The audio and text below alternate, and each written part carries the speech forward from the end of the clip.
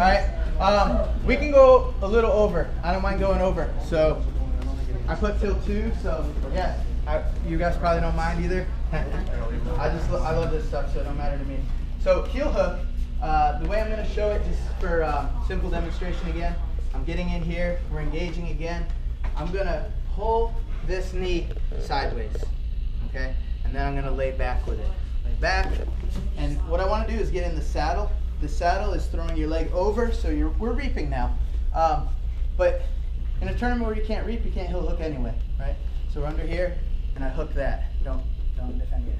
And now saddle. I'm just coming here. I'm going to cross my feet, so it kind of locks the shin up. I'm laying back, and then heel hook's right here. The heel hook. What I want to do is um, get his heel in the crook of my arm and armpit.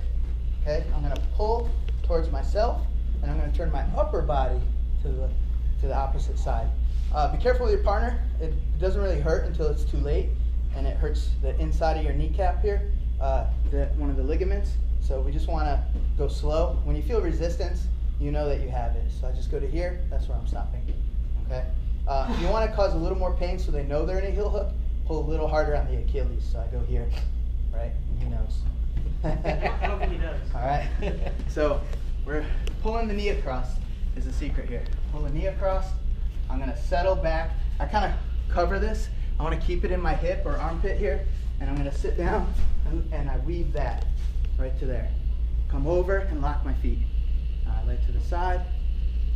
Hit the heel. This type of grip, gable grip now. I'm gonna lay back and rotate my upper body that way.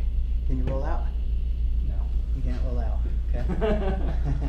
I'm gonna go with a no on that one. And the great thing about Saddle is uh, he can't get footlocks on me, right? You've seen the straight footlock here, where they try to footlock you, and you know, we're here footlocking each other.